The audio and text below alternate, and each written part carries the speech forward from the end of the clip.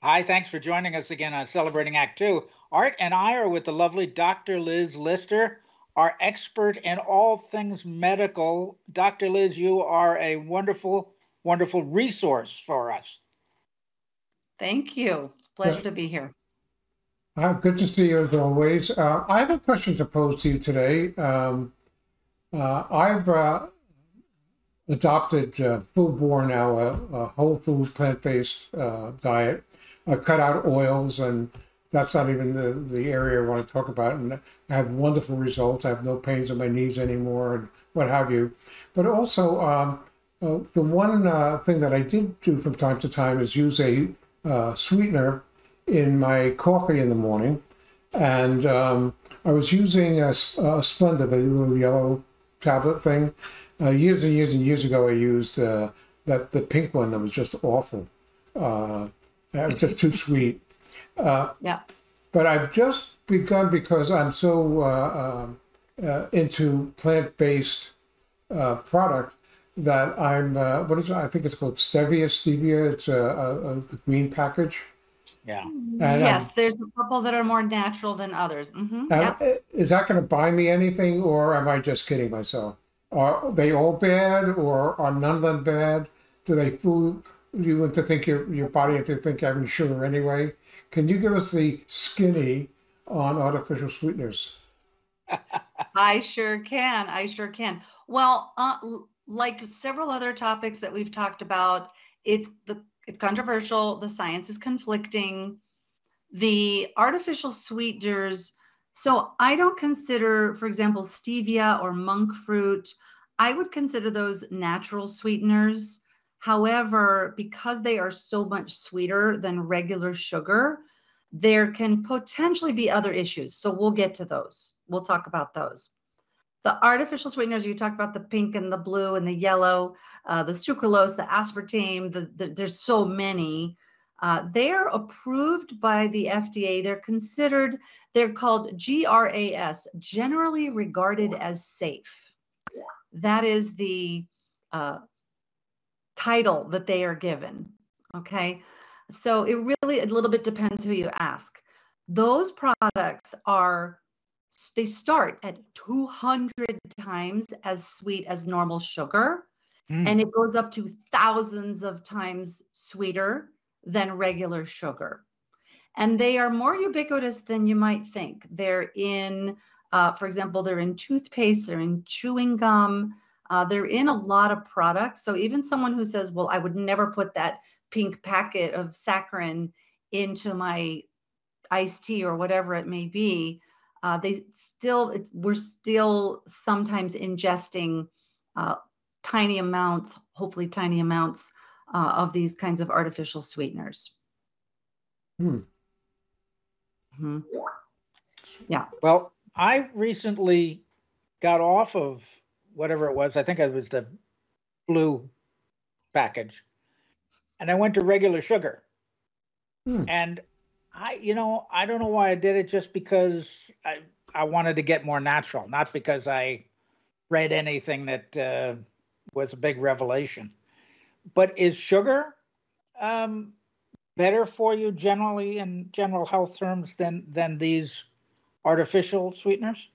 Hmm. Okay, so again, it depends who you ask. What I will tell you is that regular sugar is more caloric than the artificial sweeteners. That is why the artificial sweeteners have taken off in popularity the way they have.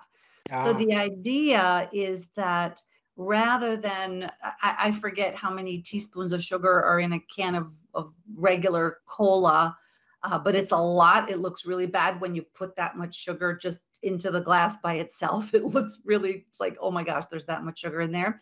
And that's very caloric. So the artificial sweeteners really took off in popularity a few decades ago when we started seeing all the diet products that are out there. Yeah. There they then the scientists then went and did studies on people who were working on losing weight and using these products. And the the results were not what you would expect a lot of people using diet sodas diet products they were not having the success that you might expect with their weight loss efforts All right. So there's some theories of why that might be. One theory is that even though the artificial sweetener is not actually sugar and caloric in that way, yeah. it still can cause the body to release insulin.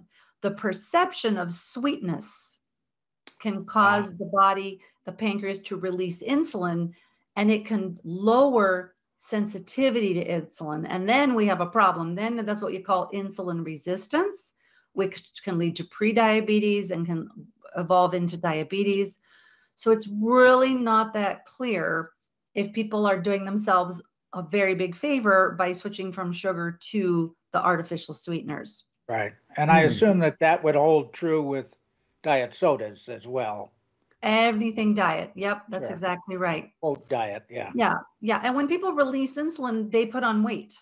Insulin causes us to put on weight. That's why diabetes becomes such a difficult place that people can get stuck, especially mm. if they end up needing insulin, because then it's even harder to lose the weight and reverse the diabetes. So, is there any kind of guidelines on if you're going to use artificial sweeteners because they have zero or no cal- low calories, or it's just uh, mm. it, it, we're still in a crapshoot?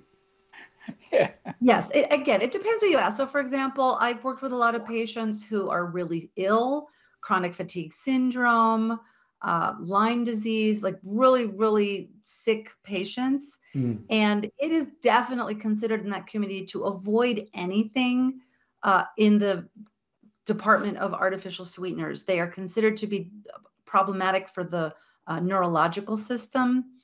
Again, these are people who are already pretty ill. Uh, so it's it's a little hard to say. I think you, John, I think you did good switching away from artificial sweeteners because our brains are designed to register sweetness.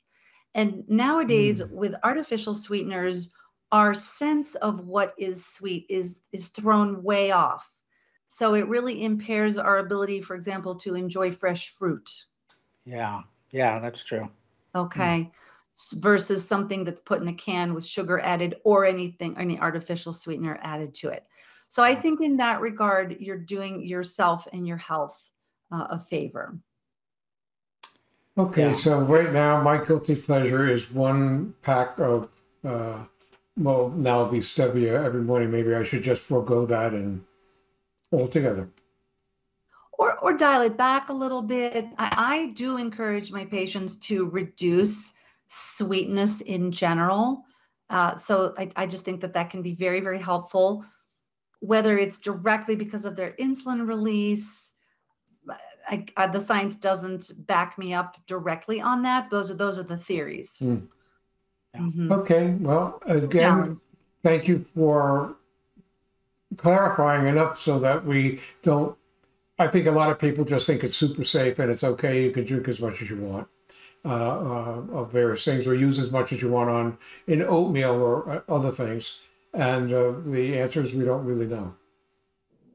Exactly. Yeah, exactly. So if you can put fresh fruit or something like that and and uh, bring your brain back to being able to tell regular sweetness, yeah. I, mm. I think that's beneficial. Thank you. For more on Celebrating Act Two, visit our webpage, follow us on Facebook, subscribe to us on YouTube, and tell your friends. Celebrating Act Two is the user manual for the second half of your life.